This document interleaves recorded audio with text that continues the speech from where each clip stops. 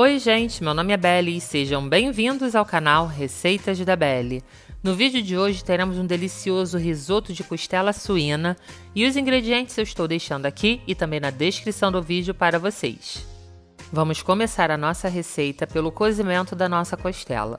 Para isso, em uma panela de pressão, adicione 600 ml de caldo de legumes e uma cerveja de 600 ml também. Gente, o caldo de legumes que eu estou utilizando nessa receita fui eu mesma quem preparei.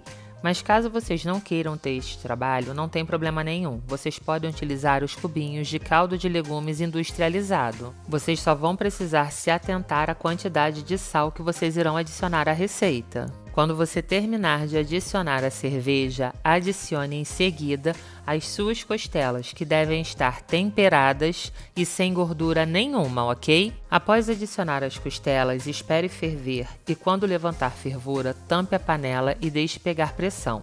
Enquanto a nossa panela pega pressão, vamos preparar os demais ingredientes da nossa receita. Lave bem um alho poró e reserve as folhas. Guarde para outra receita. Em seguida, corte o talo do alho poró conforme estou fazendo aqui e reserve. O tempo de lavarmos e cortarmos o nosso alho poró foi suficiente para que a nossa panela pegasse pressão. Assim que a sua panela pegar pressão, marque o tempo e deixe as suas costelas cozinhar por 40 minutos. Após 40 minutos, desligue o fogo e deixe a pressão da panela sair sozinha. Quando a pressão sair completamente, abra sua panela e você verá que as suas costelas estarão assim, desmanchando. Transfira elas para outro recipiente Separe os ossos da carne e em seguida desfie a sua costela. E enquanto eu desfio a minha costela, que tal você colaborar com o nosso crescimento, se inscrevendo no nosso canal caso ainda não seja inscrito e ativando o sininho de notificações para ficar por dentro de todas as novidades que pintam por aqui. Nos ajude a mostrar também ao YouTube que o nosso conteúdo é relevante, deixando o seu like, o seu comentário e compartilhando os nossos vídeos com todos que você conhece. Aproveite e siga a gente também lá no Instagram. Tenho certeza que você não irá se arrepender, além de colaborar imensamente para o nosso crescimento. Depois de desfiar toda a sua costela, inicie o preparo do seu risoto. Para isso, na panela da sua preferência, adicione azeite a gosto. Deixe o azeite aquecer e vamos dar uma fritadinha nessa costela desfiada. Esse processo aqui também ajudará a dar mais sabor ao nosso risoto.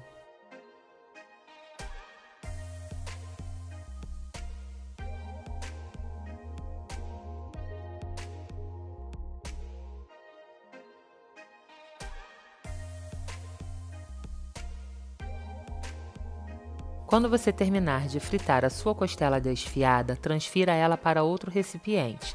Você saberá que ela está no ponto quando ela começar a adquirir este tom dourado aqui.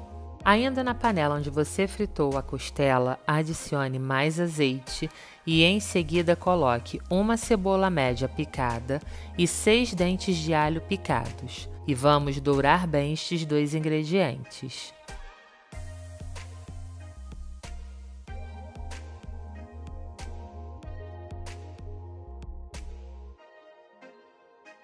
Quando o seu alho e a sua cebola estiverem com este tom dourado aqui, adicione a eles uma xícara e meia de chá de arroz branco.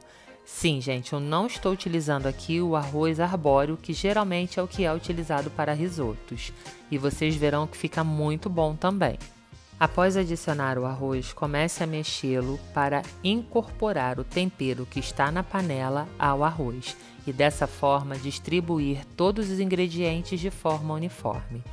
Você deverá fritar o seu arroz na panela por aproximadamente 3 minutos, mas não esqueça, você deve mexer constantemente. Não pare de mexer, senão você correrá o risco de queimar o seu arroz.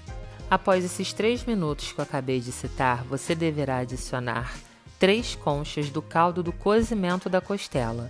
Mas antes de utilizar esse caldo, passe-o por uma peneira, ok? Para que ele fique um caldo bem límpido. Após adicionar as primeiras conchas de caldo, mexa bem para soltar todo o sabor que ficou no fundo da panela e incorporá-lo ao arroz. Deixe ferver e volte a adicionar mais três conchas. A partir de agora, você começará a mexer constantemente o seu arroz.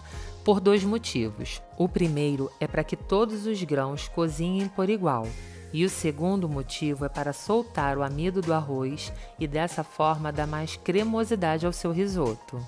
Mexa até o caldo começar a secar. Quando o caldo começar a secar, adicione ao seu arroz meia colherinha de pimenta síria e meia colherinha de coloral. Mexa bem para distribuir estes dois ingredientes pelo seu arroz e quando você observar que ambos os ingredientes foram incorporados ao arroz, adicione o alho poró que havíamos cortado e reservado. Volte a mexer bem para soltar todos os anéis do alho poró.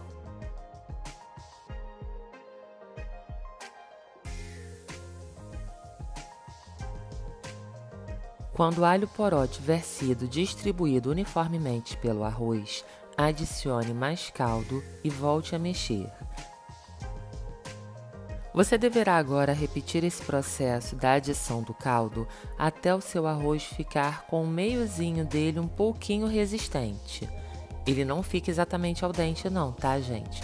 Ele fica quase que totalmente cozido e só o meio, que fica uma espessura mais ou menos de uma agulha, fica ainda um pouquinho resistente. Quando seu arroz estiver assim, adicione a ele uma colher de chá de molho shoyu e mexa bem para incorporar o molho shoyu ao seu risoto.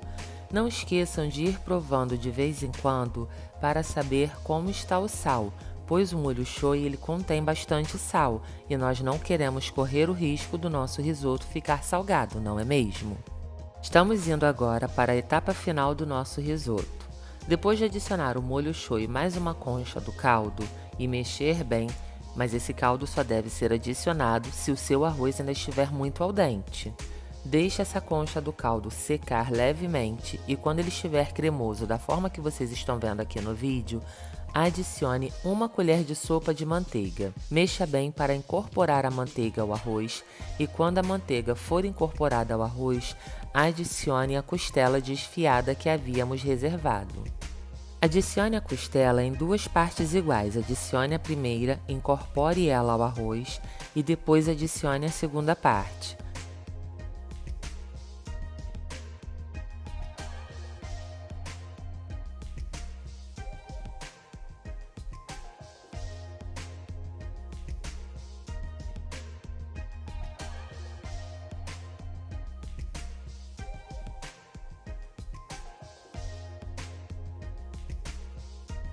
Quando você terminar de incorporar a costela ao arroz, adicione a ele mais uma concha do caldo, pois queremos um arroz bem molhadinho.